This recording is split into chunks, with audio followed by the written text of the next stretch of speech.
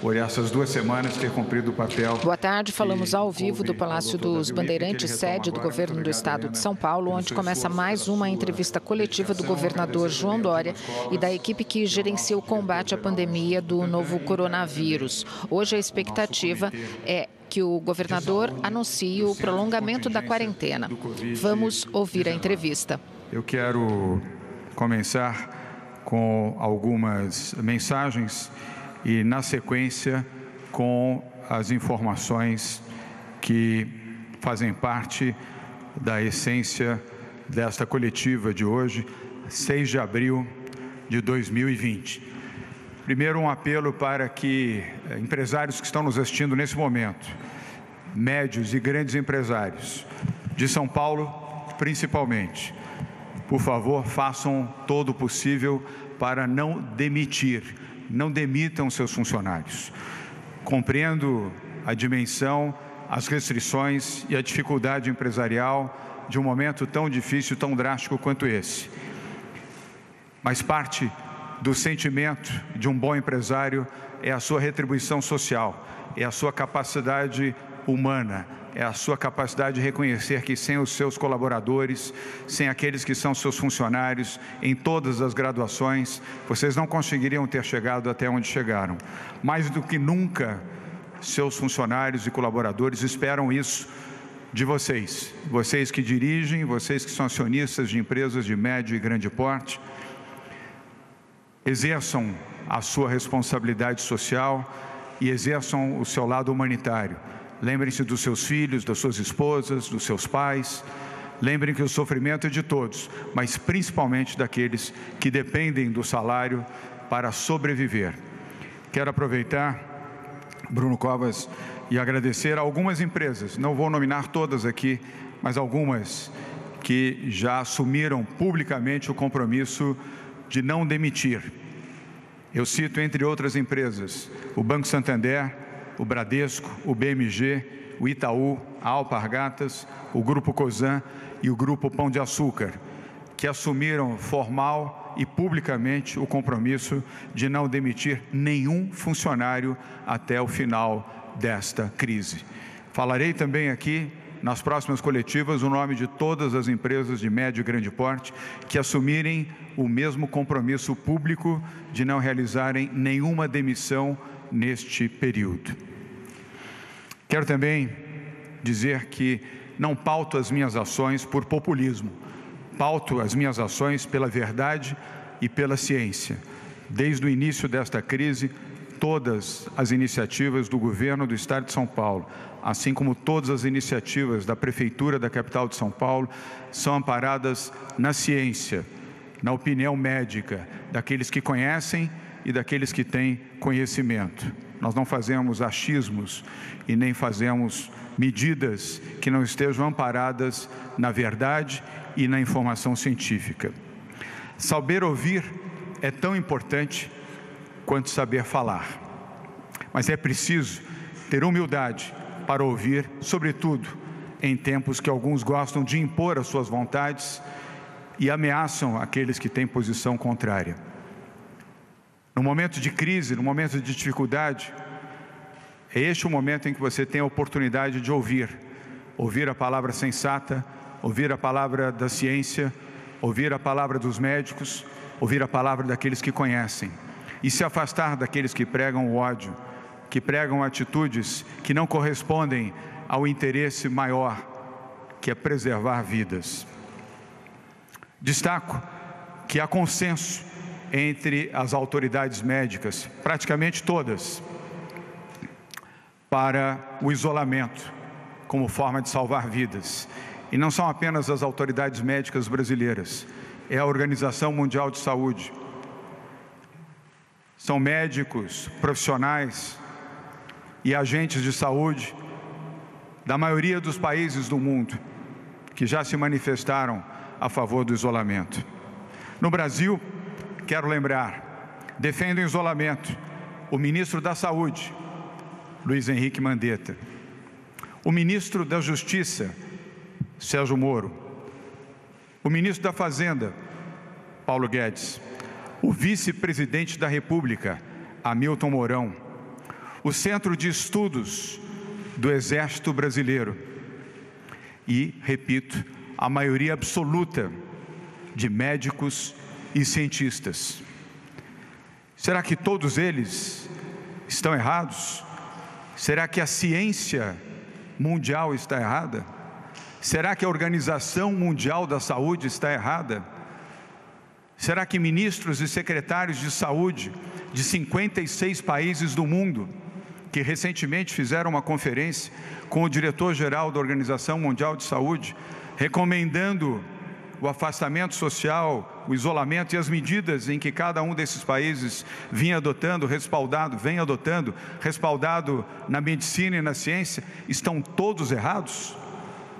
Será que um único presidente da República no mundo é o certo? É quem detém o poder, a capacidade, a ciência e o conhecimento para discordar do mundo, do mundo que quer proteger vidas, do mundo que quer salvar pessoas. Um dos mais respeitados economistas do mundo, o professor Joseph Stiglitz, concedeu uma brilhante entrevista neste final de semana a um jornal de São Paulo. Ele é prêmio Nobel de Economia. E ele disse na sua entrevista, aliás, a chamada desta entrevista dizia: a economia será devastada se não salvarmos as pessoas. Esta é a palavra do prêmio Nobel de Economia. Será que Joseph Stiglitz, prêmio Nobel de Economia, também está errado? Lucros podem esperar, a vida vem antes do lucro. Dinheiro tem que servir, não governar. As palavras são do Papa Francisco. Aqueles que incentivam a vida normal, aqueles que pressionam o prefeito da capital de São Paulo, Bruno Covas, aqueles que me pressionam por WhatsApp, por telefonemas e por cartas, para que possamos agir contra os nossos princípios e contra os princípios da medicina. A eles eu pergunto: vocês estão preparados para assinarem os atestados de óbito de brasileiros? Vocês estão preparados para carregar os caixões com as vítimas do coronavírus? Vocês que defendem a abertura, que defendem aglomerações, que minimizam a crise gravíssima que nós estamos, vão enterrar as vítimas?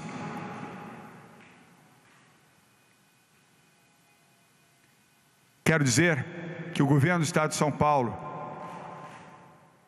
vai continuar agindo com base na ciência, com base na medicina e com um princípio que tem norteado a nós e a Prefeitura de São Paulo, desde a primeira coletiva que temos feito aqui.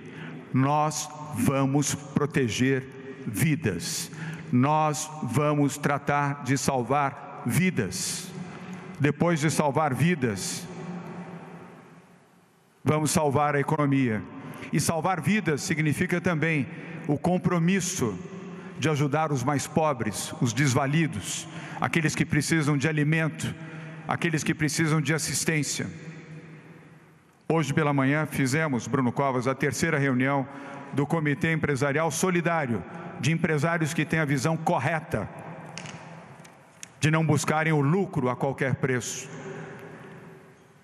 Destes empresários que participaram desta terceira reunião, 40 deles, perdão, no total 60 deles, somaram 218 milhões de reais para ajudar os mais pobres, ajudar o governo de São Paulo a comprar cestas básicas de alimentos para o início imediato da distribuição às comunidades mais pobres e desfavorecidas do nosso estado, principalmente, Bruno, na capital de São Paulo e na região metropolitana.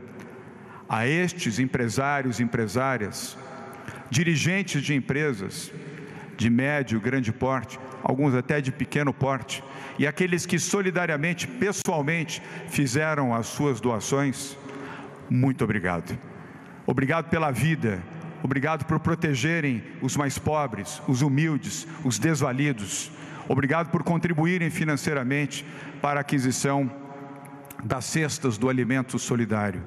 É isso que se espera dos brasileiros, dos brasileiros de bem, das pessoas que têm sentimento e que respeitam a ciência e respeitam a vida e contribuem com o seu dinheiro, com o seu esforço e com o seu sacrifício para proteger os mais pobres e os desvalidos. Sejam solidários com a vida. Se você não puder doar, faça o seu gesto de solidariedade. Recomende aos seus familiares, sobretudo aos que têm mais de 60 anos. Recomende aos seus vizinhos com mais de 60 anos, principalmente.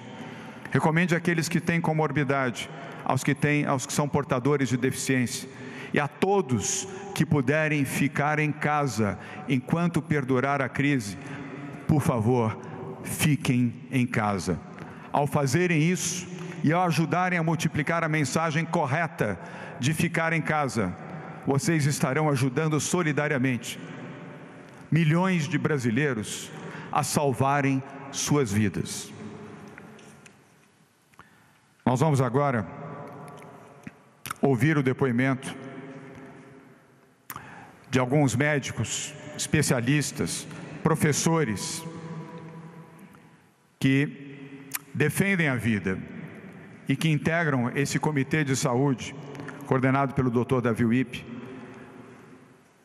desde o dia 26 de fevereiro, quando, em plena quarta-feira de cinzas, convidamos o Dr. Davi Wipp a assumir esse centro de contingência e a convidar especialistas do mundo da medicina e do mundo acadêmico para integrarem este grupo.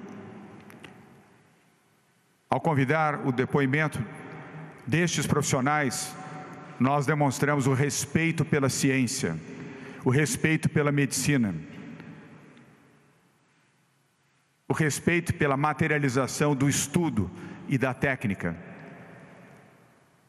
e o afastamento completo do populismo, do achismo, da visão ideológica torpe, fraca, medíocre.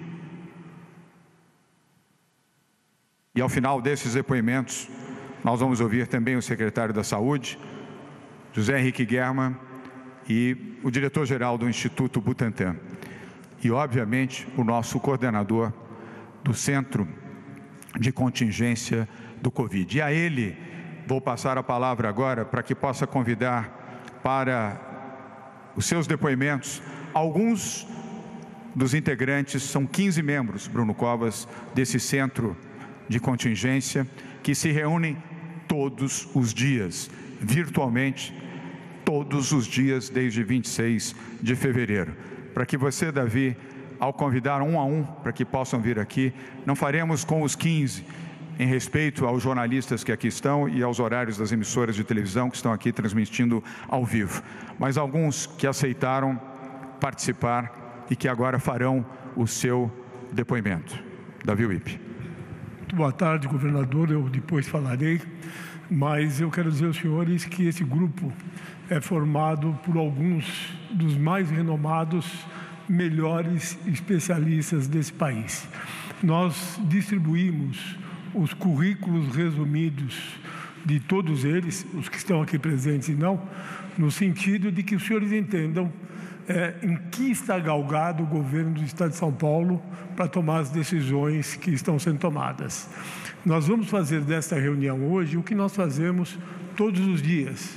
Nós nos reunimos, nós discutimos e as nossas conclusões, que são sempre por consenso, oferecemos ao secretário de Estado e dele para o governo do Estado de São Paulo. Então, eu vou chamar inicialmente o Luiz Fernando Aranha, que vai falar do seu posicionamento atual sobre o Covid. Dr. Luiz Fernando Aranha, professor, doutor, infectologista do Hospital Albert Einstein.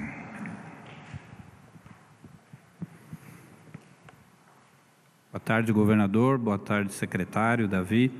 É, boa tarde a todos.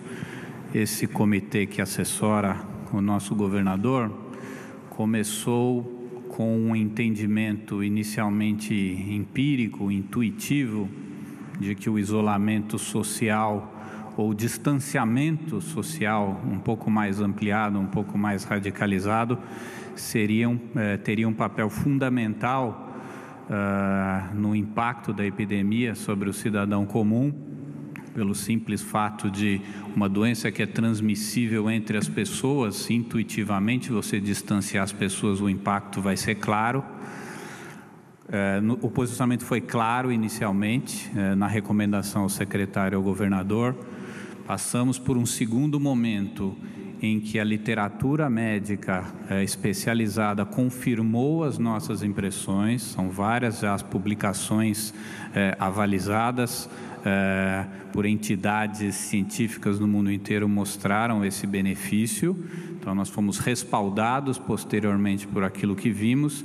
Estamos no momento atual de observar já os resultados benéficos, tanto em dados provenientes do Estado de São Paulo, do município de São Paulo e, mais especificamente, nos locais em que cada um de nós eh, trabalha. O Hospital Israelita Albert Einstein eh, começou com um pico muito precoce de pacientes, mas o escalonamento de casos foi muito claro, eh, permitiu à instituição organizar-se para atender a todos os pacientes e estamos num momento de atingimento de um certo platô de internação e que nos permitiu claramente atender com capacidade, com qualidade a todos os pacientes que procuraram a instituição. No âmbito público, no Hospital São Paulo, da Universidade Federal de São Paulo, da Escola Paulista de Medicina, gerido pela SPDM, eh, onde eu trabalho também, de acordo com é, o comitê local, o Dr. José Roberto Ferraro, o Dr. Eduardo Medeiros, da disciplina de infectologia. Esse escalonamento, apesar do, do trabalho ser intenso e extenuante dos profissionais que estão atendendo na linha de frente, esse escalonamento nos permitiu, permitiu ao hospital uh, montar progressivamente uma estrutura que vai culminar com 200 leitos para pacientes com Covid e 50 pacientes e 50 leitos de UTI. Portanto, nós já, felizmente, pudemos observar nesses, nesses dias uh, que o isolamento, que as medidas duras, mas necessárias tomadas, permitiram uh, a que essas duas instituições, uma pública e uma privada, se organizassem uh, e oferecessem à população um atendimento escalonado de qualidade e para todos que procuram essas instituições. Muito obrigado, professor Luiz Fernando. Gostaria de chamar agora o professor Fortaleza. Temos um minuto para cada depoimento para todos que nós todos possamos falar. Bom, uh, eu queria, em complemento ao que foi falado pelo Luiz Fernando, aqui saudar o governador, prefeito, secretários, amigos Davi e Dimas, e dizer que eh, nós, uh, no interior de São Paulo, temos visto uma progressão da epidemia, ainda numa fase ascendente, diferente da fase de estabilização que foi conseguida aqui.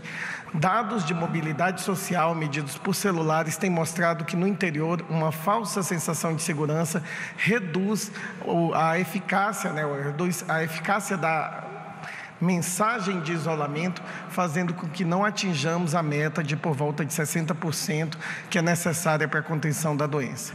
Nós temos estudado na Unesp, onde eu trabalho, junto com modeladores matemáticos e geógrafos da saúde, os modos de dispersão do Estado e percebemos algumas cidades polo que quase correspondem às maiores cidades do Estado, mas também as mais próximas da metrópole, que precisam de um isolamento ainda maior, de forma a reduzir a interiorização desse vírus e a sua dispersão pelo Estado.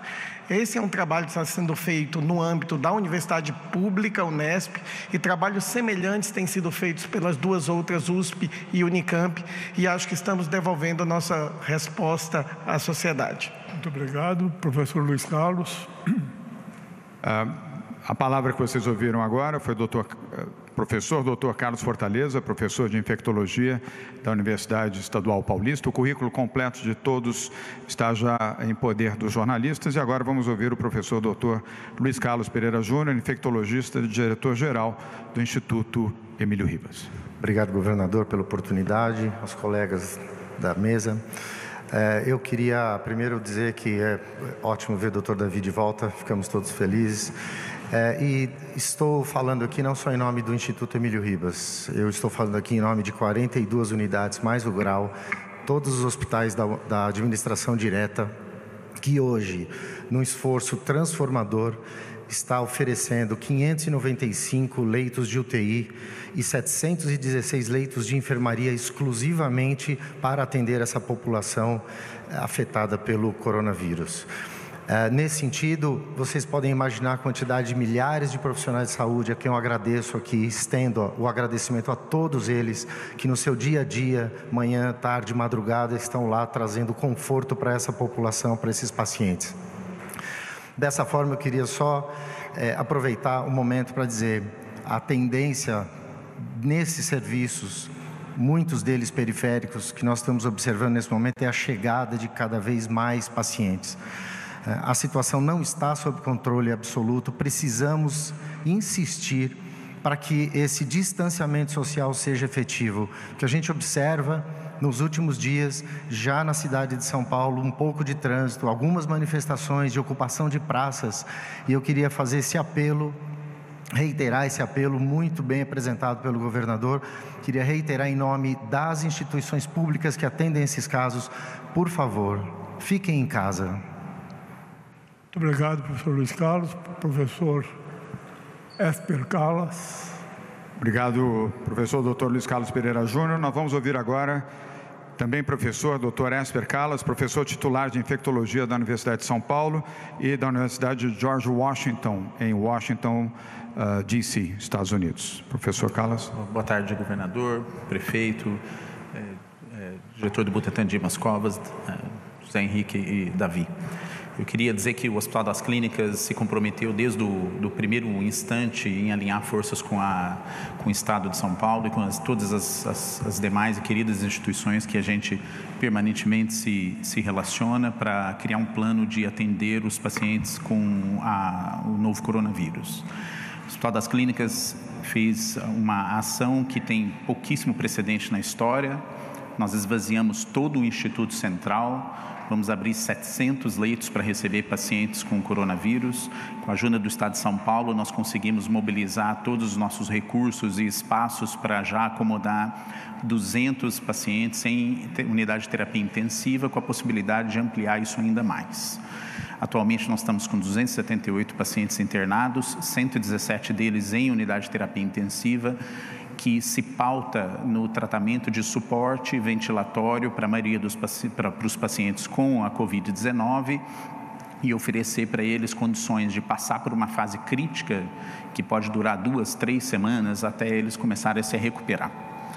Nós também começamos uma série de esforços dentro da Faculdade de Medicina da USP e do Complexo HC e já desencadeamos 21 projetos de pesquisa realizados nas diferentes áreas, tanto na área de avaliação de transmissão, a área da, do mecanismo que o vírus causa doença nas pessoas, como que as melhores, são as melhores maneiras de conter a transmissibilidade Estamos investigando novas formas de tratamento, dado que ainda a gente não tem nenhum tratamento específico antiviral que seja totalmente comprovado para uso, a despeito de algumas tentativas que estão sendo postas e tentadas nos diversos eh, hospitais. Muitos desses projetos, a maioria deles, ocorrem em colaboração com os meus colegas da, de, da, dos outros campi da, da, da, USP, o Emílio Ribas, o Albert Einstein, o Hospital Sírio-Libanês, entre outros, além de outros colaboradores internacionais. Então, a gente vem trabalhando muito duro para tentar ver se encontra soluções que mudem o curso dessa epidemia porque a gente imagina que a gente vai ter muito tempo pela frente de embate e enfrentamento a essa doença. Muito obrigado, professor Esper. Obrigado, professor uh, Esper Calas. Uh, vamos agora uh, ouvir o Dr. Dimas Covas. Dr. Dimas é professor, doutor, professor titular de Clínica Médica da Universidade de São Paulo de Ribeirão Preto e o atual diretor-geral do Instituto Butantan. Dimas. Boa tarde. Obrigado, governador. Eh, eu vou apresentar aqui um embasamento de, dos estudos que estão sendo feitos por um grupo de epidemiologistas que envolve o Butantan, a ONB, a Fiocruz, todos eles liderados pelo Dr. Júlio Croda, né, recém-incorporado, e tentar subsidiar aí as medidas que estão em curso. Né? Começando para tentar explicar por que, que essas medidas de afastamento são importantes no contexto da infecção. Então, aqui nós temos as várias medidas que foram é, tomadas e o impacto dessas medidas né, em termos de taxa de infecção, taxa de contágio, né, que está lá no, no eixo Y. Então está lá, distanciamento social produz 25% de redução de taxa de contágio, alto isolamento um pouco menos de 50%, fechamento de escola em torno de 25, 30%, né? eventos públicos também, e aí nós chegamos lá na reunião de todas elas, que vão dar o que nós chamamos de redução mais intensa, é, ou seja, um afastamento social mais é, efetivo. E aí, é, o efeito na taxa de transmissão é superior a 75%. Lembrar que se ela se aproximar, quanto mais ela se aproxima de 100%, mais nós estaremos controlando a epidemia.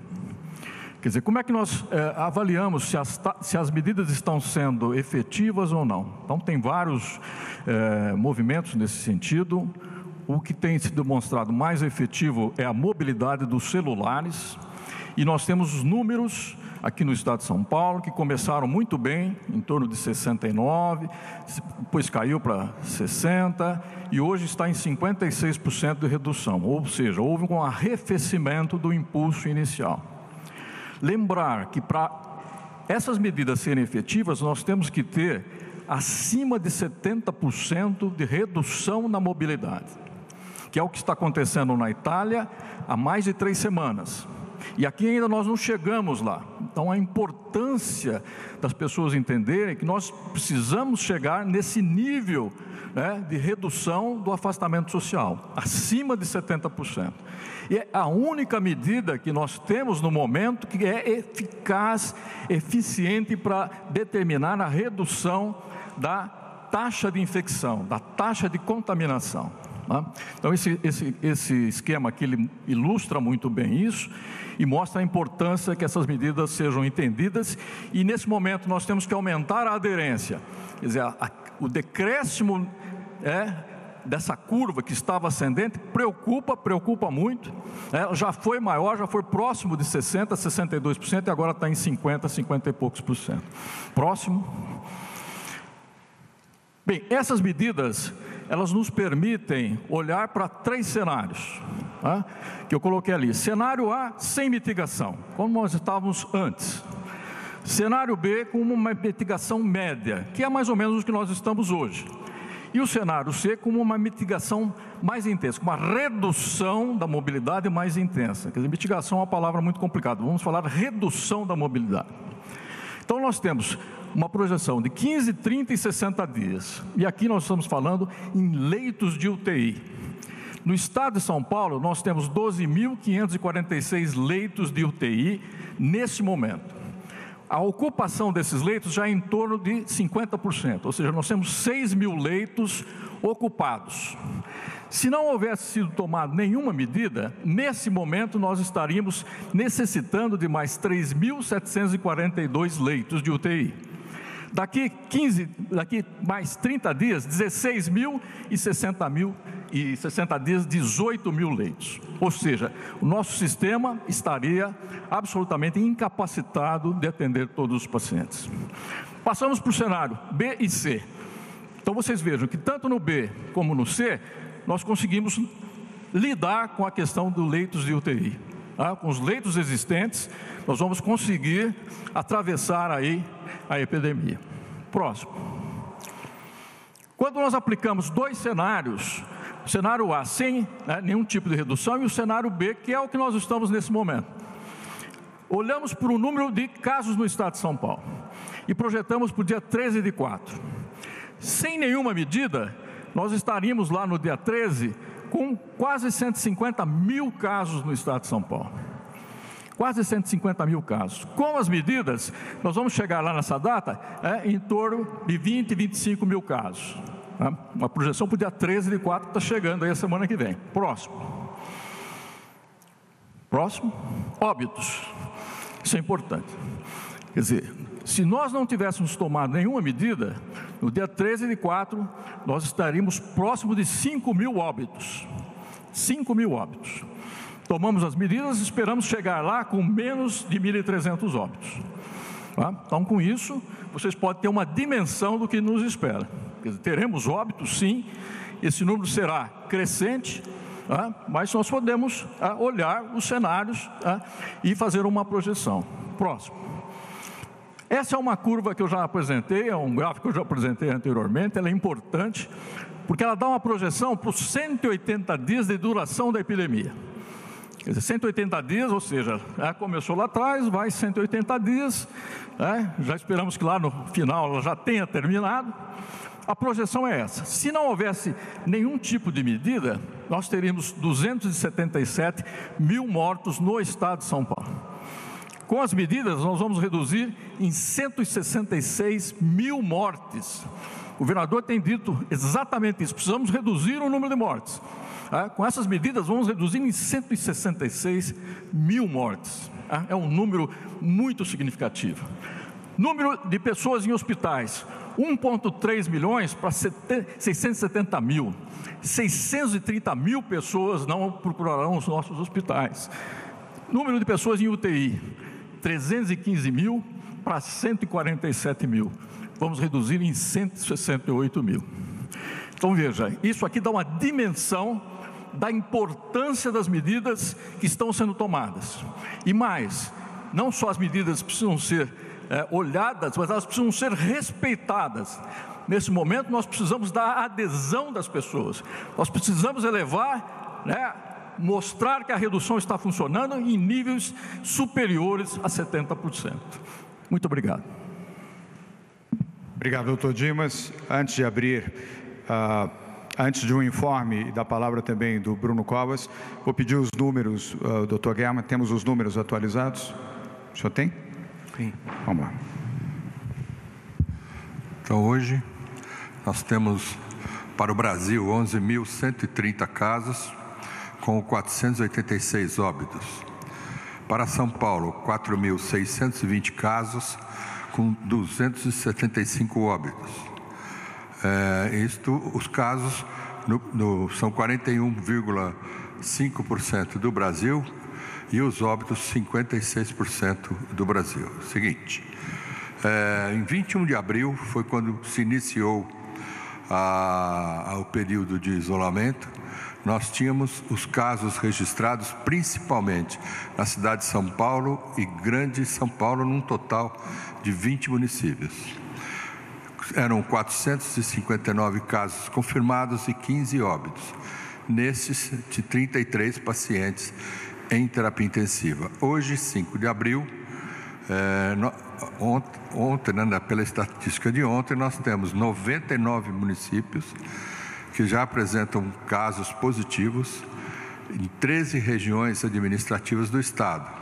Esses 4,620 é, casos confirmados significam para o início 900% de aumento. E os 275 óbitos significam do início 1.700% de aumento. E os 572 pacientes que hoje estão na UTI significam 1.600% de aumento. É, então, o que eu queria dizer é que sem essas medidas que nós tínhamos tomado, temos tomado com o apoio do governador, é, no, no, sentido de, de, fazer um isolamento é, das pessoas, ainda no chamado distanciamento social, se nós não tivéssemos feito pelos cálculos, seríamos dez vezes mais casos do que os 4.600 casos. Obrigado, doutor Guerra. Apenas uma correção, ali por óbvio, a data de 21 de abril é 21 de março, e não de abril, o que está indicado ah, ali na, no slide. Bem, obrigado, doutor Guerra. Governador. Ah, pois não, Davi Wip.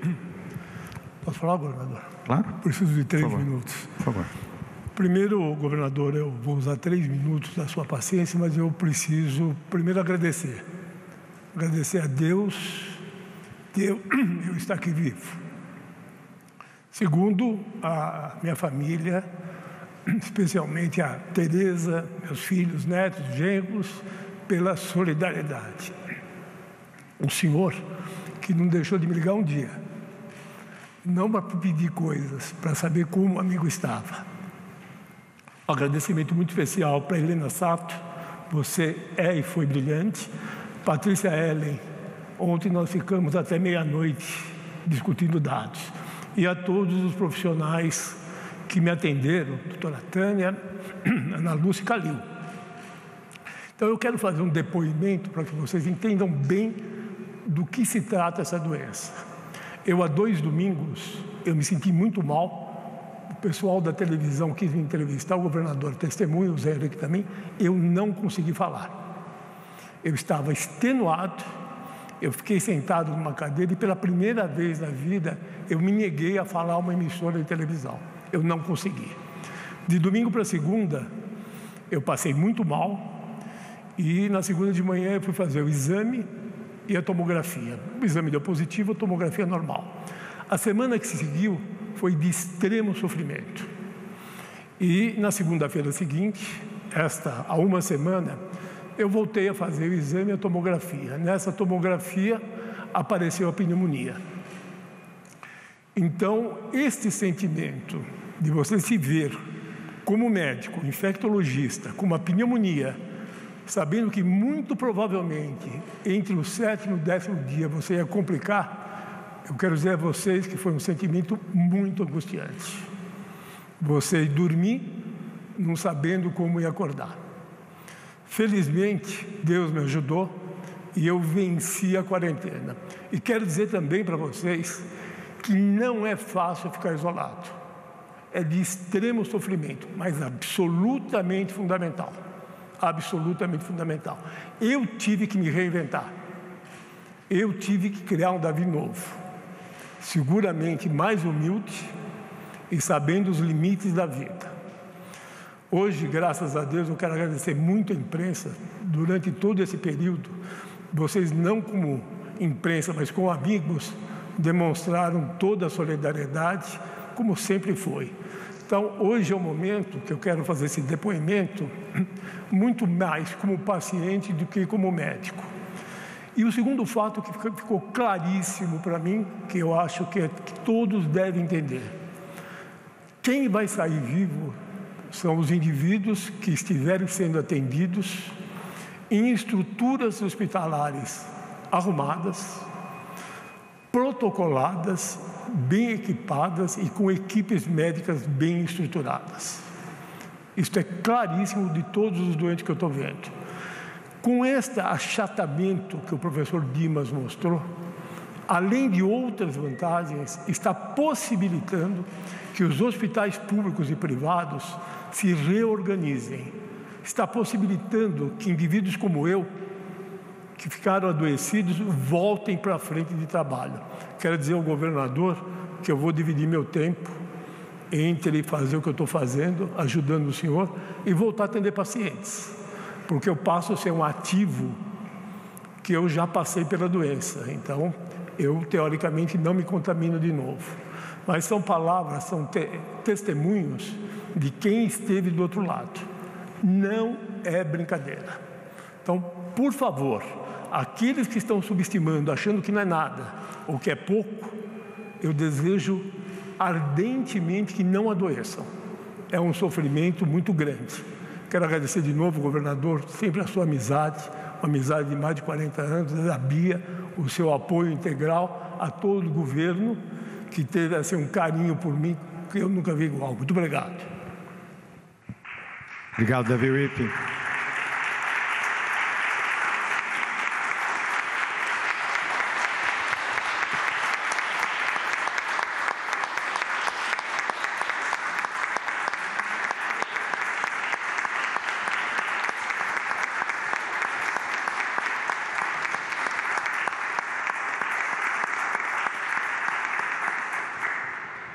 Depoimento sensibilizador de um médico, de um especialista, dos melhores do país e de alguém que sofreu com o coronavírus e, conforme ele mesmo testemunhou, Bruno, na fase mais aguda, dormiu sem saber se poderia acordar vivo. Eu queria, uh, neste momento, uh, deixar claro à opinião pública e à população do Estado de São Paulo que sim, a prorrogação da quarentena será feita em São Paulo por mais 15 dias, do dia 8 até o dia 22 de abril.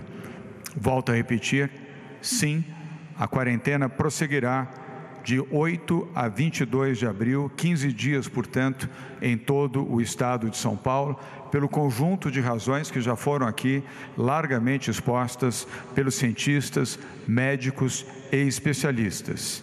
E ao passar a palavra para o prefeito da capital de São Paulo, Quero recomendar também que prefeitas e prefeitos que estão nos assistindo aqui, pela TV Cultura, pela Globo News, pela CNN e por outras emissoras de televisão e ouvindo também por emissoras de rádio, vocês terão o dever, a obrigação de seguirem nas suas cidades a orientação do governo do estado de São Paulo. Isto é constitucional, não é uma deliberação que pode ou não ser seguida. Ela deve ser seguida por todos os 344 municípios do estado, além da capital de São Paulo, sob o comando do Bruno Covas. E devem exercer também, ao lado da Polícia Militar, o poder de polícia se houver desobediência de qualquer natureza para uh, esta orientação.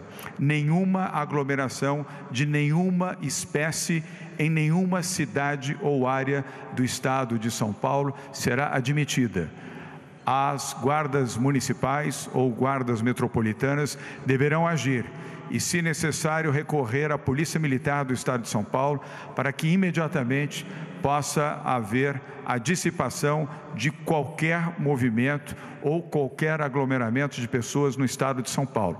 Esta é uma deliberação, esta é uma medida que será publicada no Diário Oficial de amanhã e deverá ser rigorosamente seguida pela população do estado de São Paulo na defesa das suas vidas, na proteção das suas vidas e dos seus familiares. E peço também que prefeitas e prefeitos contribuam no mesmo sentido para que essa medida seja aplicada e obedecida corretamente. Sigam o exemplo do Bruno Covas na capital de São Paulo, a quem passo a palavra nesse momento. Bruno. Boa tarde a todos.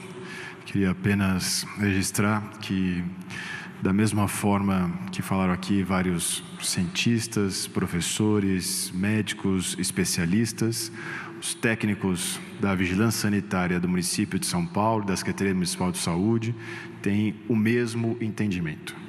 É, relatório produzido por eles nesse final de semana mostra aquilo que já foi dito aqui, em especial pelo professor Dimas, dizendo que sem essas medidas restritivas, a curva teria sido muito mais íngreme do que foi até agora e que nós, infelizmente, ainda não atingimos o pico da doença aqui na cidade de São Paulo, como no estado de São Paulo. E reforço também é, o apoio a essa medida do governo do estado, anunciada aqui pelo governador João Dória, porque nesse final de semana já começamos a sentir a pressão sobre o sistema de saúde aqui no município de São Paulo. Apesar de todo esforço é, de criação de 3 mil leitos adicionais que nós temos tendo aqui na cidade de São Paulo, praticamente 900 leitos de UTI e 2.100 leitos de baixa complexidade, de observação.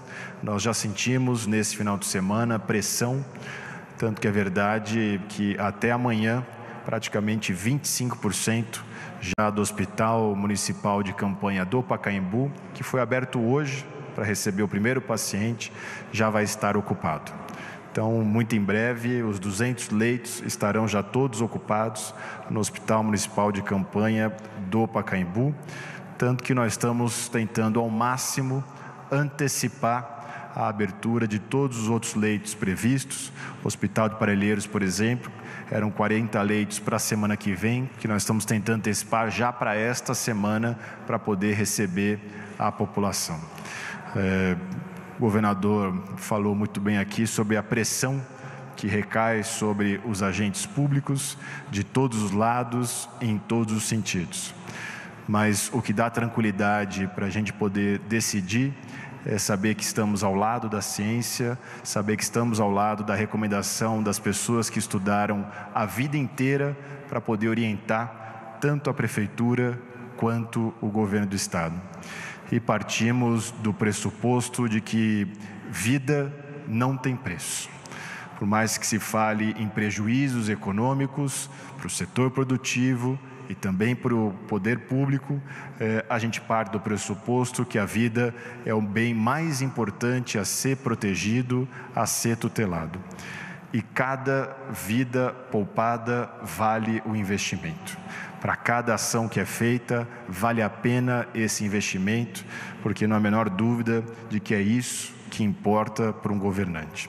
Então, dizer que a Prefeitura de São Paulo segue na mesma direção, continua trabalhando em parceria com o governo do estado e tem a mesma preocupação para que as pessoas né, não afrouxem é, o isolamento social, permaneçam em casa. Volto a insistir: ficar em casa nesse momento não é uma questão de higiene, é um ato humanitário. Muito obrigado, boa tarde a todos. Obrigado, prefeito Bruno Covas. Vamos agora às perguntas. São 13 horas e 15 minutos. É provável que a nossa coletiva hoje, excepcionalmente, se estenda um pouco mais, mas justifica-se pela dimensão da medida e a importância desta iniciativa. Vamos começar com a TV Cultura, com a jornalista Maria Manso, que está aqui presencialmente. Vamos intercalando com perguntas online. Maria, eh, boa tarde. Sua pergunta, por favor. Boa tarde a todos. Bem-vindo de volta, doutor Davi. Obrigada pelo depoimento. É, governador, o senhor decidiu afastar os seus filhos da sua casa por causa de ameaças. Que ameaças foram essas e o que diz a polícia sobre as investigações? Obrigado, Maria. É um tema triste em meio a tantas circunstâncias onde nós precisamos salvar vidas, uh, eu ter que defender a vida dos meus filhos de ameaça de pessoas que querem seguir a orientação do gabinete do ódio ou de pessoas que odeiam. Ah, desde a semana passada tenho recebido várias ameaças, todas elas têm sido encaminhadas para o Departamento de Investigação da Polícia Civil do Estado de São Paulo. Eu já tenho outro celular, mas o meu celular eu mantive ativo deliberadamente para identificar as ameaças que são encaminhadas a ele e neste final de semana, mais uma vez, renovaram as ameaças, inclusive em áudio, não foi apenas em texto. Ah, a minha família, especialmente aos meus filhos, eles estão fora de São Paulo, resguardados, e havia informação de onde estavam localizados os meus filhos. Nós reforçamos a segurança e a proteção dos meus filhos, e eu quero dizer a essas pessoas que ameaçam a mim, a minha esposa e aos meus filhos, que a minha posição não muda. Eu defenderei a vida dos meus filhos e da minha esposa com todas as forças que um pai defende a vida dos seus filhos e da sua esposa mas não deixarei de defender a vida das pessoas, não retrocederei um milímetro sequer na defesa do princípio da vida e daquilo que temos feito no Estado de São Paulo. O mesmo em relação ao Bruno Covas, o mesmo certamente em relação a todos que estão aqui nessa sala. Ameaças não me põem medo, mas me põem tristeza. A tristeza de estar vivendo num país onde devíamos estar sendo liderados por uma causa de salvar vidas e isto não acontece. Ao contrário, manifestações de ódio são eh, estimuladas pelas redes sociais, manifestações inadequadas, inoportunas, irresponsáveis são colocadas, ainda que pontualmente, de pessoas que querem o desrespeito às medidas que estamos tomando para defender a vida. Vamos agora a uma pergunta eh, virtual vem da Paloma Cotes, do estado de São Paulo. Acho que a Paloma já está aqui, já estou vendo a sua imagem na tela. A Paloma é jornalista do jornal Estado de São Paulo. Boa tarde, Paloma. Sua pergunta, por favor. Boa tarde, governador. Boa tarde a todos. Eu queria reforçar uma pergunta sobre ampliação da quarentena. Já foi dito, né, que a gente tem visto a circulação maior de pessoas nas ruas. O senhor falou até no uso da força policial nos municípios. Que outras medidas podem ser tomadas para restringir a circulação das pessoas no estado? Uh, vou começar pelo Bruno Covas, Paloma, uh, e na sequência eu complemento a resposta. Bruno, por favor. Olha, primeiro agradecer a grande maioria da população que aderiu e entende e está ficando em casa. É claro que aqui na cidade de São Paulo, se a gente pensar em 20% da população na rua, nós estamos falando de 2 milhões e meio de pessoas, o que é muita gente. Mas eu tenho que agradecer aos 80% que estão ficando em casa.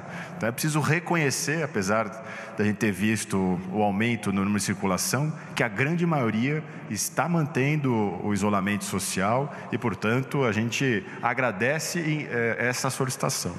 Eh, mais uma vez, reforçar tem a menor dúvida que o convencimento é a melhor razão.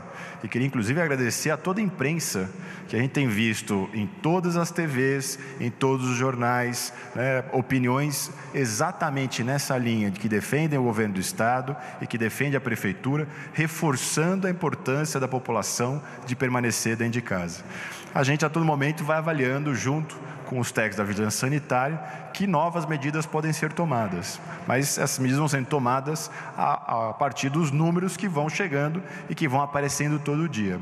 Até hoje, né, a gente não tem nenhuma nova medida a ser anunciada. Mas como essa é uma doença que, embora a gente tenha vários estudos, o comportamento a gente está aprendendo como é que se dá no dia a dia, talvez é, chegue o caso de outras medidas terem que ser efetivadas aqui na cidade de São Paulo. Paloma, complementando, obrigado, Bruno. Ah, a partir desta orientação do governo do Estado de São Paulo e da nova quarentena válida a partir desta quarta-feira, a orientação é aumentar o rigor seja na capital de São Paulo, na região metropolitana e outras cidades do estado. Como disse o Bruno, corretamente, se houver necessidade de agregarmos mais medidas restritivas, não teremos hesitação de fazê-lo, seguindo a orientação dos especialistas que nos assessoram e nos orientam mas ressaltar também o lado bom. Majoritariamente, a população do Estado de São Paulo tem respeitado a quarentena e tem respeitado a decisão de ficar em casa e tem estimulado também pelas redes sociais para que seus amigos, seguidores e parentes também fiquem em casa. Ressalto, como fez o Bruno, o trabalho da imprensa aliás, de maneira unânime. Não vi um veículo de comunicação sequer, independentemente da sua, do seu tamanho, da sua dimensão e da sua cobertura, defendendo o contrário.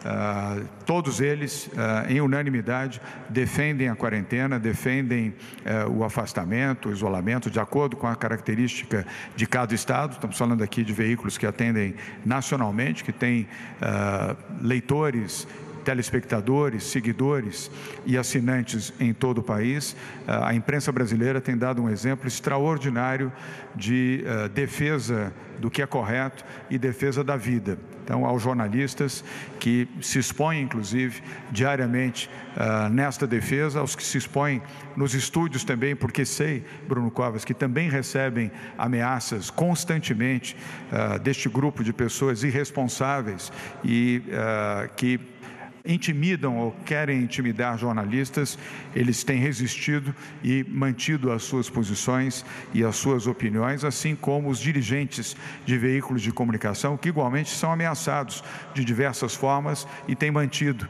ah, o seu equilíbrio e a determinação para que a notícia correta chegue até o seu ouvinte, o seu telespectador, o seu assinante, o seu leitor. E aos formadores de opinião também, que da mesma maneira mantêm a sua posição da VIUIP de defesa da posição no isolamento social e obediência à quarentena. Obrigado por estarem também resistindo a pressões e estarem fazendo o que é correto, orientando as pessoas a ficarem em casa. A próxima pergunta é presencial, é da TV Globo, Globo News, do jornalista William Cury. William, uh, boa tarde. Está aqui, William. E depois nós vamos a uma não presencial da jornalista Silvia Amorim, de O Globo. Então, agora com a palavra, William Cury, TV Globo, Globo News. Tudo bem? Boa tarde. Boa tarde. foi exposto aqui o aumento de 1.500% desde o início da quarentena, da quarentena nos casos é, de internações de, pelo Covid-19. Primeiro, eu queria saber se esse número está dentro do que era esperado pelas equipes quando estipularam o início da quarentena. Se era isso mesmo ou que se esperava, porque é um aumento bastante grande. E outra também, eu queria saber como será a ação da polícia para impedir aglomerações em praças, como tivemos nesse fim de semana aqui em São Paulo. William, uh, vou tomar liberdade de começar respondendo pela segunda e depois passar a primeira pergunta ao doutor Davi Wip, com comentários ou complementação uh, do doutor José Henrique Guerra. Aqui está, sentado aqui ao nosso lado, o secretário de Segurança Pública do Estado de São Paulo, General Campos. Ele já recebeu orientação e agora publicamente também, para que todos saibam, a Polícia Militar do Estado de São Paulo está autorizada a agir para evitar aglomerações. Primeiro, na advertência, na orientação, inclusive com os automóveis que possuem alto-falantes e com gravações que já foram feitas uh, pela Polícia Militar para orientar a dispersão das pessoas e que elas retornem às suas casas e fiquem em casa. A primeira medida será orientativa. Esta é a determinação do governo do Estado de São Paulo. E eu tenho a convicção de que as pessoas saberão seguir esta orientação, até porque se não o fizerem, a segunda etapa será a medidas coercitivas, podendo penalizar estas pessoas com as penas previstas em lei, que vão inclusive à prisão. Eu tenho certeza que isso não será necessário e que as pessoas compreenderão a necessidade de ficarem em suas casas e atenderem à recomendação. E as que, por distração, por circunstância, eventualmente estando uh, nas ruas, receberão nesta fase inicial a orientação uh, da Polícia Militar para que se dispersem e retornem às suas casas. E agora eu passo, na primeira parte da pergunta do jornalista William Cury, da TV Globo Globo News, para o doutor Davi Wipp. Só uma homenagem ao Edson Aparecido, que está aqui, o Bruno Covas, pelo excepcional trabalho que vocês estão fazendo no município de São Paulo. Se vocês lembrarem, houve um vídeo vazado de uma reunião científica do INCOR, onde eu e o professor Esper estávamos presentes.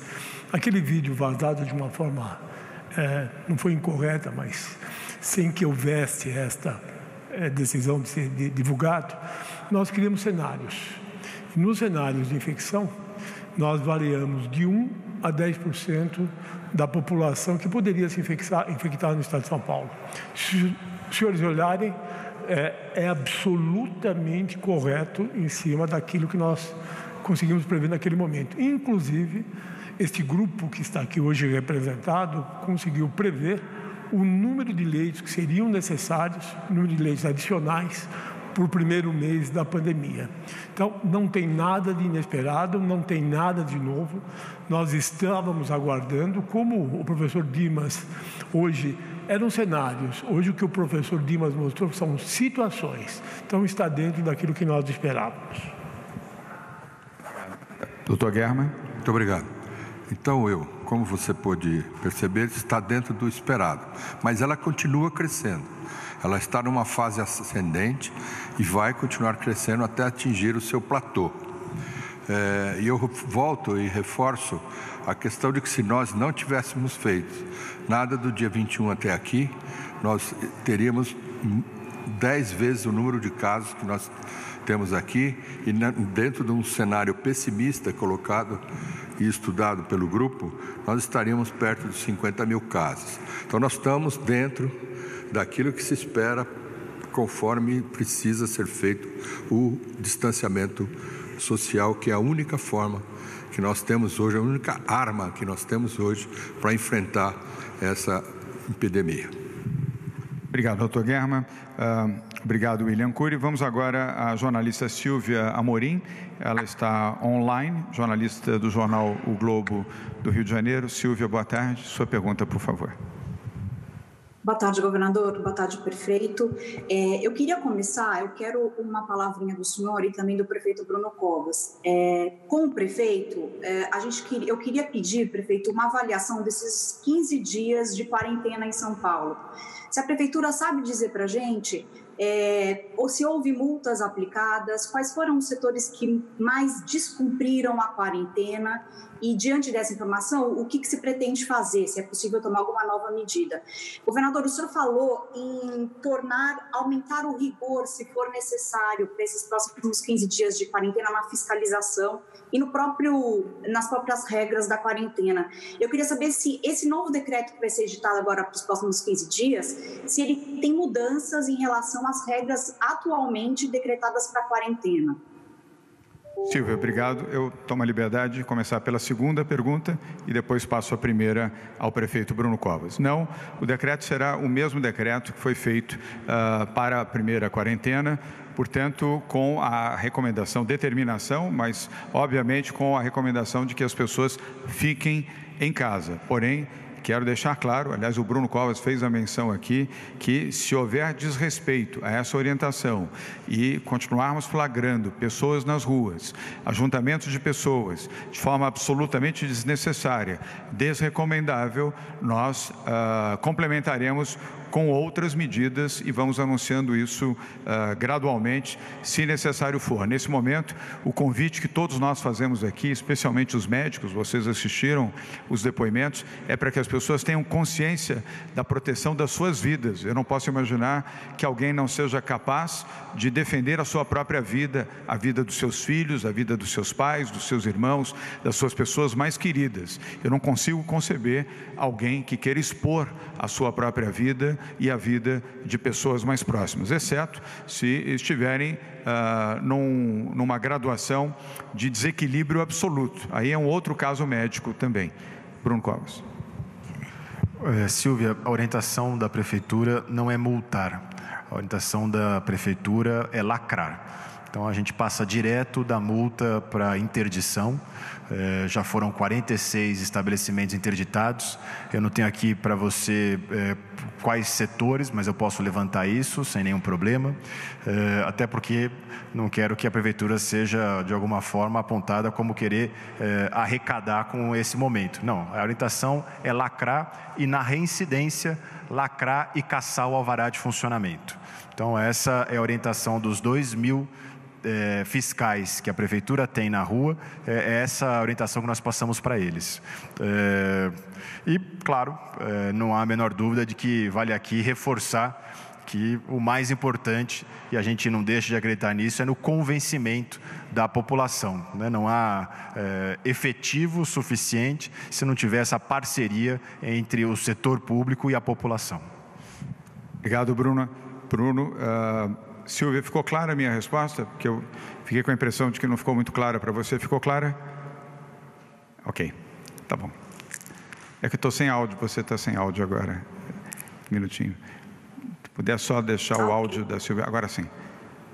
É, não, eu entendi então que não haverá alteração. As regras, no momento, vão permanecer as mesmas. Isso, perfeito, é exatamente isso.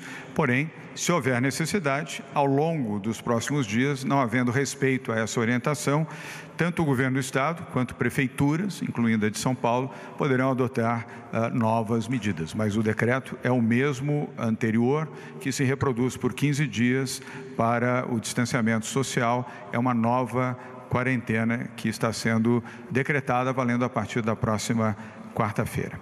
Obrigado, Silvia. Então, uh, vamos agora uh, presencialmente à CNN, a jornalista Marcela Raal. Marcela, muito obrigado. Obrigado, Marcela, você esteve aqui presente todos os dias uh, das nossas coletivas. Muito obrigado a você e à CNN também. Obrigada, eu que agradeço. Boa tarde a todos. Bom, eu queria saber, o prefeito Bruno Covas falou agora que já sente uma pressão no sistema de saúde municipal. Eu queria saber se tem um risco de um colapso no sistema de saúde municipal e também estadual. Obrigada. Em relação ao sistema municipal, a expectativa é que com esses 3 mil leitos a gente dê conta, eh, mantendo, claro, essas restrições de circulação. Né? Não mantendo, os números mostram aqui que, claro, isso vai explodir, passando muito além dos 12 mil leitos que nós temos em todo o estado. Então, a expectativa é que, mantida essa restrição e mantida essa quarentena da forma que o governador prorrogou hoje, eh, esses 3 mil leitos dariam conta eh, do que nós vamos ter de casos aqui no município. Obrigado, Bruno. A outra parte da pergunta, da Marcela Raul, da CNN, responde o secretário de Saúde, José Henrique Guerra. Os leitos de enfermaria se distribuem pelo Estado de uma forma bastante contundente, inclusive dentro das próprias Santas Casas de Misericórdia que estão sobre a gestão estadual.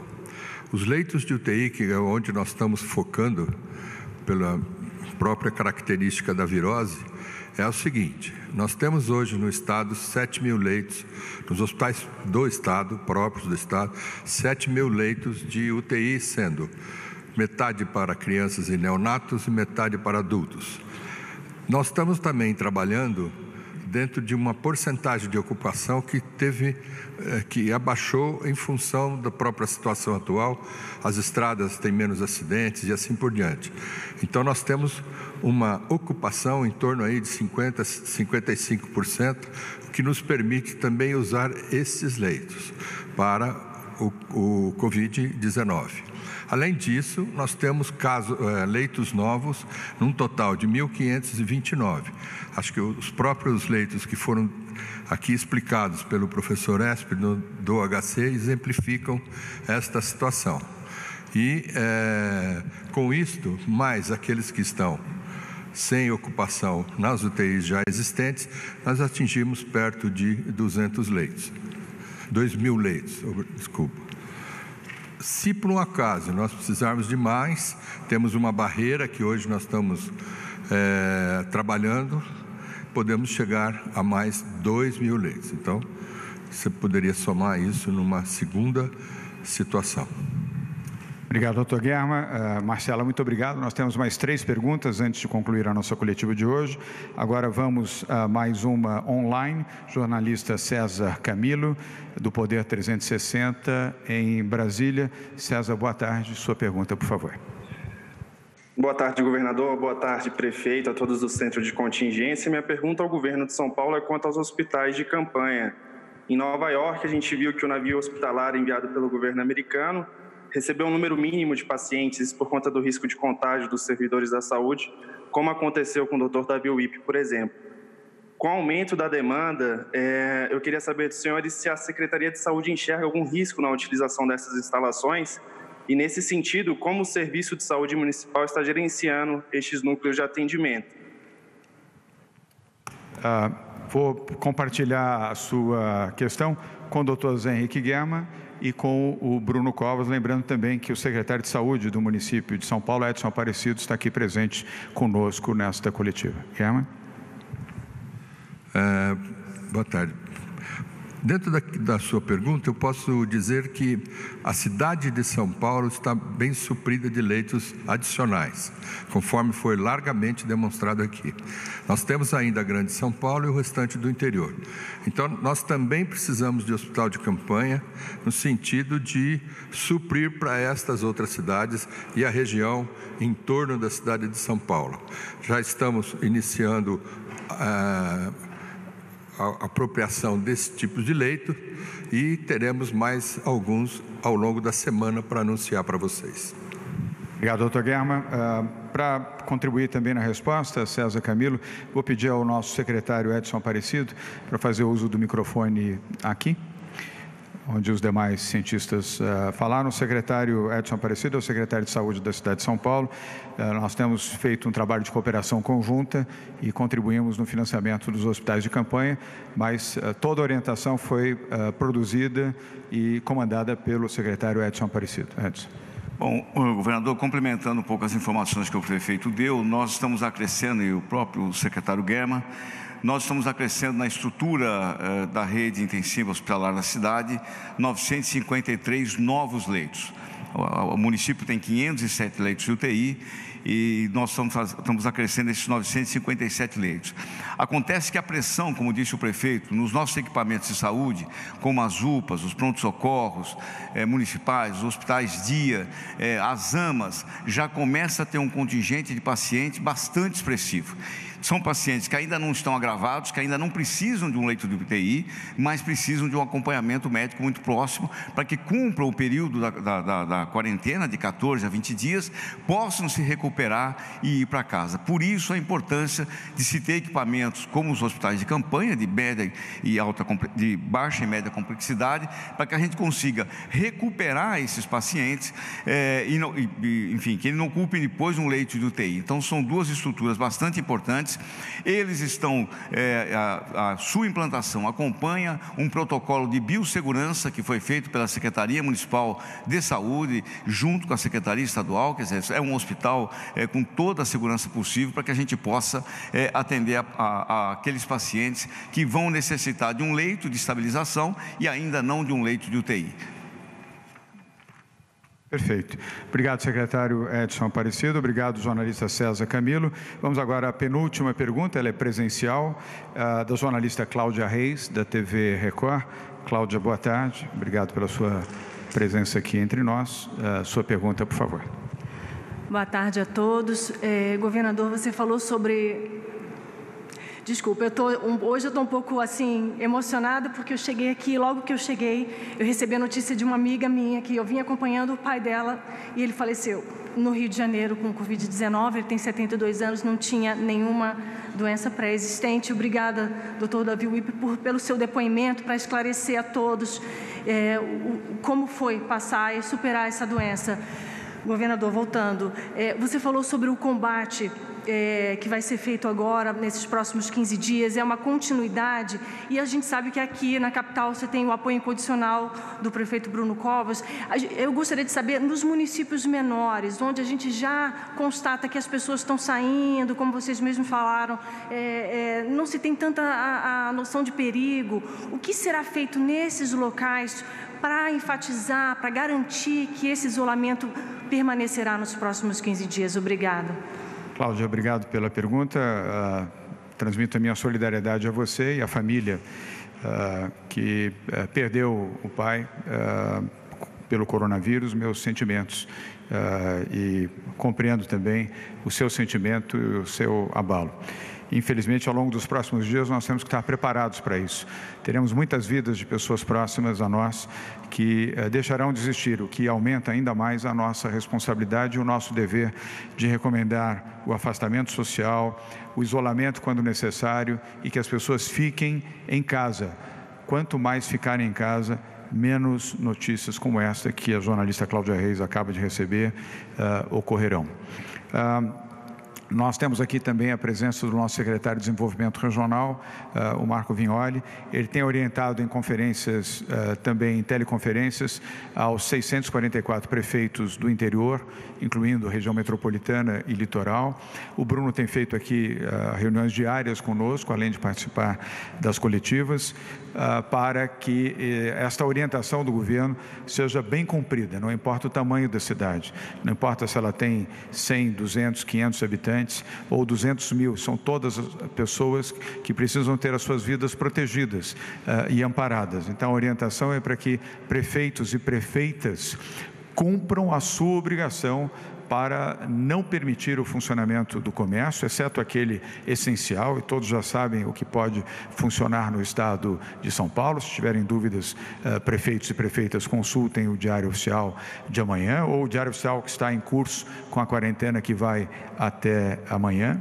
Uh, e com isso protejam os seus cidadãos. O fato de uma pequena cidade não ter um caso de coronavírus não significa que ela está livre de ter e livre de não uh, registrar óbitos. Ao contrário, aumenta a responsabilidade de proteger os seus habitantes, sejam eles quantos forem, para que estejam uh, a salvo e protegidos e em casa. Não importa o tamanho da cidade. E essa orientação, aproveito aqui uh, a presença de vocês para renovar essa determinação e os nossos secretários que atuam junto às cidades do interior devem fazê-lo também. Vamos ao doutor German, antes de seguirmos para a última pergunta de hoje. German. A questão de uma semana atrás, dez dias, o senhor governador fez um aporte de recursos para os municípios com mais de 100 mil habitantes. Logo em seguida, um aporte de recursos para municípios com menos de 100 mil habitantes. Isso tem uma lógica. Os municípios com mais de 100 mil habitantes formam dentro do Estado é, municípios polo que estão dentro das é, nossas regionais de saúde também. E acompanham as rodovias, o litoral, enfim, e estão assim distribuídos. E quando o município polo, ou sede, que você puder chamar, ele diminui a sua atividade, tem uma série de municípios ao redor que, que necessariamente são dependentes da atividade econômica, da atividade comercial dessas, dessas cidades maiores e eles também acabam diminuindo. Esse, esta foi o, o raciocínio dessa divisão. Bem, é, algum comentário? Doutor Davi, por favor. Acaba de chegar uma solicitação, governador, de médicos, especialmente oncologistas, para que seus pacientes não deixem de ir fazer quimioterapia em consultas regulares. Então, é, existem doentes com doenças crônicas que não podem deixar de procurar os seus médicos nos hospitais. É um apelo de vários dizendo que, é óbvio, todo mundo tem que se proteger, mas os doentes que fazem uso de tratamentos regulares precisam continuar sendo acompanhados medicamente. Perfeito. É o alerta, assim como todas as áreas básicas, profissionais que trabalham em supermercados, mercados, postos de uh, combustível, farmácias, hospitais, segurança pública, uh, são setores que uh, são essenciais e constam no decreto, obviamente podem e devem continuar com resguardo às suas atuações. E aqueles que estão em tratamento médico também, obviamente, vão seguir a recomendação dos seus médicos. É graças a eles que nós estamos fazendo as recomendações que temos feito aqui. Portanto, a recomendação médica é aquela que deve prevalecer, sobretudo em casos como esse e até outros casos também que possam uh, estar uh, em curso uh, o tratamento. Vamos agora à última pergunta de hoje. Peço desculpas, hoje avançamos um pouco mais o tempo, mas dada a importância, eu havia prevenido que iríamos um pouco mais. São 13 horas e 45 minutos. A última pergunta é da Rede TV, do jornalista Murilo Rincon. Murilo, boa tarde. Obrigado pela paciência. A sua pergunta, por favor. Boa tarde, governador. Boa tarde a todos. Olha, a minha pergunta é em relação, muito se fala, né, na questão da quarentena, de ficar em casa e tudo mais. Além dessa medida para conter o avanço da Covid, né, em relação à ciência, que você tanto fala também, que as decisões do governo são embasadas nisso, como que está o avanço da, da pesquisa em relação à hidroxicloroquina, a cloroquina e também agora a respeito do plasma, né, do sangue que pode servir aí ser usado para conter essa doença também? Murilo, eh, obrigado pela pergunta. Eu vou pedir ao Dr. Dimas Covas, que é o diretor-geral do Instituto Butantan, que uh, proceda a resposta à sua pergunta. Dimas. Bom, especificamente com relação ao plasma hiperimune, existem já hospitais é, com um protocolo de investigação aprovado. Isso se demonstrou muito útil é, na China, na Europa, nos Estados Unidos, inclusive grandes é, centros já utilizando quase que rotineiramente. Então, aqui também, né, já foi iniciado pelo Albert Einstein, deve ter é, iniciado na, nesse fim de semana o Sírio e os dois HCs de Ribeirão e de São Paulo. Com relação à cloroquina, acho que o Davi tem informações mais. Né? Doutor Davi Wip. Na última quinta-feira, o ministro Mandetta fez uma reunião com quatro especialistas e eu fui um desses especialistas. Então, a decisão do Ministério da Saúde, da Saúde a respeito da hidroxicloroquina é oferecer a todos os hospitais, públicos e privados, para pacientes internados, desde que seja receitado por médico com aceite oficial do paciente. Então, caberá a cada médico e a cada paciente disponibilizar da hidroxicloroquina a partir da internação. O que, que mudou? No momento anterior, a cloroquina estava sendo usada só para doentes intubados. Eu acho que é uma medida correta e sempre a decisão tem que ser partilhada entre o médico e o paciente. Gostaria de comunicar a vocês o seguinte: De acordo com esta portaria do Ministério, o Ministério da Saúde nos enviou quase 200 mil comprimidos de hidroxicloroquina e nós já estamos distribuindo aos hospitais da rede para que possa ser usado desde o início da internação. Muito bem.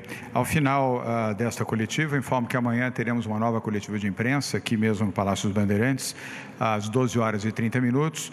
E renova a informação para você que está nos ouvindo ao vivo ou assistindo ao vivo, a informação de que uma nova quarentena está decretada a partir do dia 8 até 22 de abril em todo o estado de São Paulo. Peço que eh, as pessoas compreendam a importância da iniciativa. Ela foi bem respaldada aqui pela presença de cientistas, de médicos. Muito obrigado por terem mais uma vez uh, participado, ocupado o seu tempo pro bono para ajudar as pessoas, ajudar a salvar vidas, como tem feito uh, desde o dia 26 de fevereiro, como integrantes do Centro de Contingência do Coronavírus, sob o comando agora do Dr. Davi Wip, que volta e volta restabelecido, felizmente, depois de ter contraído o coronavírus. Agradecer muito a presença do Bruno Covas e as atitudes que ele uh, e a sua Secretaria de Saúde, sob o comando uh, do Edson Aparecido e também das demais áreas da Prefeitura. Dimas Covas, também muito obrigado obrigado. Doutor Henrique Guerra, secretário da Saúde, igualmente muito obrigado. E obrigado mais uma vez aos jornalistas que aqui estão. Vocês estão ajudando a salvar vidas. E eu, como jornalista que sou, posso afirmar sem medo de errar, o jornalismo brasileiro está escrevendo uma nova história ao longo desta gravíssima crise do coronavírus e esse será um legado do jornalismo brasileiro para as futuras gerações. E, por favor, fiquem em casa. Muito obrigado. Você assistiu ao vivo pela TV Cultura a transmissão da entrevista coletiva direto do Palácio dos Bandeirantes, onde foi decretada a prorrogação de mais 15 dias de quarentena de afastamento social em todo o estado de São Paulo. Fique agora com o JC1. Boa tarde.